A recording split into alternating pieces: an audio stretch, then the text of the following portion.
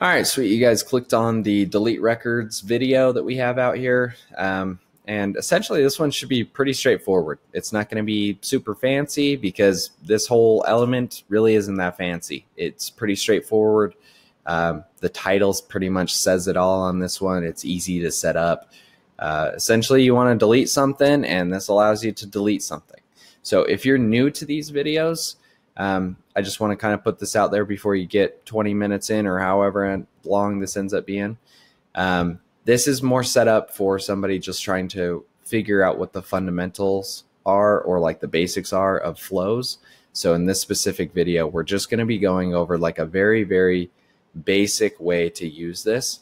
Um, I'm aware that there's several different ways that you can delete things in Salesforce, and there's probably another way that I've I could have went about doing this. Um, but the whole intention of this video is just to show somebody how you can use this element within a flow. So with that being said, we have a, a very easy business use case that we're going to be doing today. Hence why this one should be shorter than the rest of the other ones that we've we've covered together. Um, so before I jump into all of this and go over, you know, what it is that we're going to be doing today, just as a reminder, uh, feel free to jump on over here. It should be in the comment section of this video. This is actually my uh, blog site. So my blog is going to have anything from Salesforce tips like what we're doing today, uh, business applications like Zapier and Slack.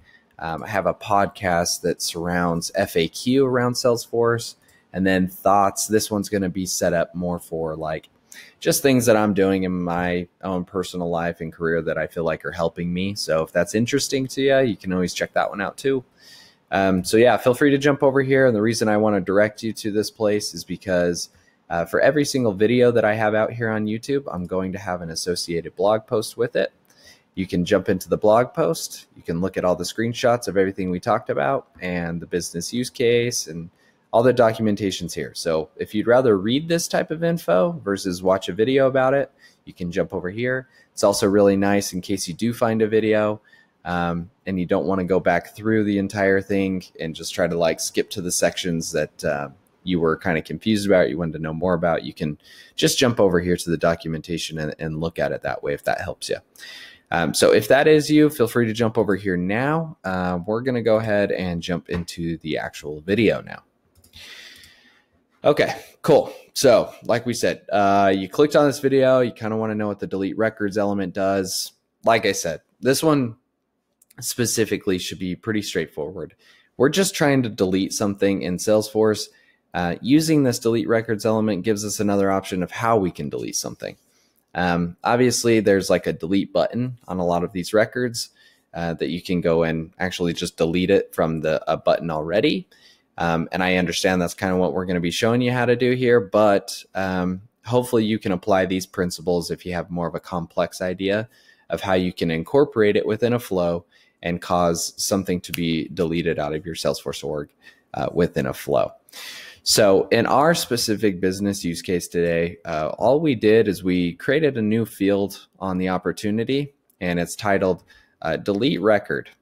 If that thing is true, and it is changed, then we're going to invoke a flow and then delete that current record. So this is set up on the opportunity. So essentially, if I you know click this checkbox and mark it as true, it's then going to run this flow, and then this flow is going to delete the um, opportunity record that I was just on. So, like I said, um, this one's pretty straightforward. Nothing fancy about it. Um, just as a word of caution, though, if you are doing something with this element, I just want to kind of review these things with you. This is from Salesforce, um, the help center place that you can go to and actually get more information on it, which is right here. So they always uh, try to provide some more information for you about what the specific element does and like different things that you should be aware of or considerations, right? So you can jump over here and check that out if you'd like to. Um, but basically, their main points here were uh, make sure that you're making this thing as specific as possible. Um, that one's kind of obvious, right? Like you don't want to delete something that shouldn't be deleted. So when you set this thing up, we just want to be as confident as we possibly can that yes, this thing should be deleted or no, that should not be deleted at this time. So be super specific. Um, you obviously, like I said, don't want to delete something that you're not supposed to be deleting and cause a hassle that way. So that's our tip number one. Tip number two, um, just remember that these records can be deleted as soon as the flow executes it. Um, I would also highlight that, you know, a lot of the time staging and production and stuff like that, you'll click on our little debug mode. And when you run it in debug, it's still going to delete it. So if you are, for whatever reason, testing in prod, hopefully you're not doing that. Hopefully you've tested, you're, you're in your sandbox. But um, sometimes, I, at least when I first started, I would get confused by that a little bit. I would kind of think that it was in this like test scenario and it's not actually taking action on it. Um, but it is. So once you put in that record and you run it, in this case, it would actually delete it. So just be aware of that. Um, if it does get deleted, you know, luckily Salesforce does have something called the recycle bin. If you're not familiar with that, it just allows you to get into a place within Salesforce. It stores it for 15 days and then it will delete it afterwards. So if you do accidentally do something like that, um, there is luckily a little bit of a backup that you can jump in there and pull this thing out um, before it actually gets permanently deleted. Um, and then the very last one, just uh, keep in mind that these things actually will delete something that is pending approval. So, you know, if you have an approval process out there and it's um, currently in that stage, just be aware that it still can delete that. So, just a heads up before we get into all this thing. Um, I think we have our foundation down. I think we're good. Uh, just reviewing everything. I think our flow design, the very last thing, this one's really, really easy. We just have a screen flow. So screen flow is just um, a, type of flow that gets kicked off by another process. So in our case, we have our opportunity process builder that's going to kick off this flow for us and push over the record that needs to be deleted and uh, run the actual flow. So we have a screen flow. Like I said, it's pushing in our record ID. And then we just have one element on this canvas this time, and it's just our delete records. So we're going to use our process builder to our advantage and use that as kind of like our filter. Um, and then within the actual element, there's another case that uh, we can filter it as well. So that's uh, the foundation. Let's go ahead and actually jump into what this looks like. So probably want to bring you over here first.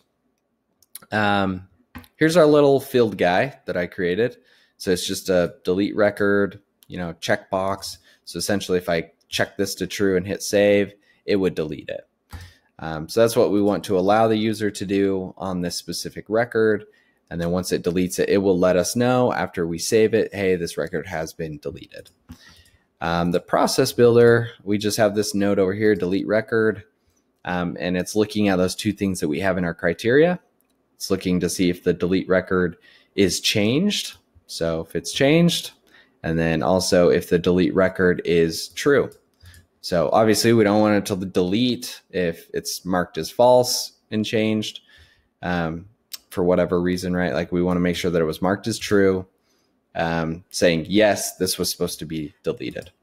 And then if that is true, then we want this flow to be called on. And then we're just pushing in that record ID um, so we know which record is actually being deleted. Um, so pretty straightforward. And then, like I said, if we jump over to our flow, sorry, we just have this one element here. Um, we don't really need anything. I don't need a decision.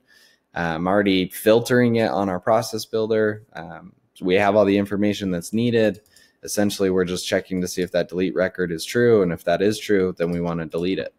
So we'll connect this guy and then I'll kind of go through what we have available. Um, so the delete records one, you can look into like a record variable or record collection if you have all those uh, types of values stored.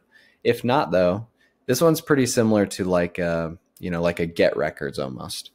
You'll click on your specify conditions so it knows like what it's actually going to be deleting. And then you would just say the opportunity in our case, since that's where that field is. And we're going to say conditions are met, right? So conditions are met. What conditions do we need to make sure are met? Well, we want to make sure this field that we have on the opportunity, the delete record, we want to make sure that that equals true. And that's it. So when I want to look up true, I just type in true and then this global constant will pop up and it says down here for you equivalent to true or checked or yes, right? Which this is a checkbox. So that will work perfect for us. And that's it. So it's like I said, really easy on this one. We have this up and running. So if I go back over to our opportunity and check this, hit check, hit save, and just like that, it lets me know everything that I just told you, right? Record was deleted, but on top of that, it says that it's being stored within the recycle bin um, for 15 days. So if I need to go get that out, I can. But that's how this flow will work.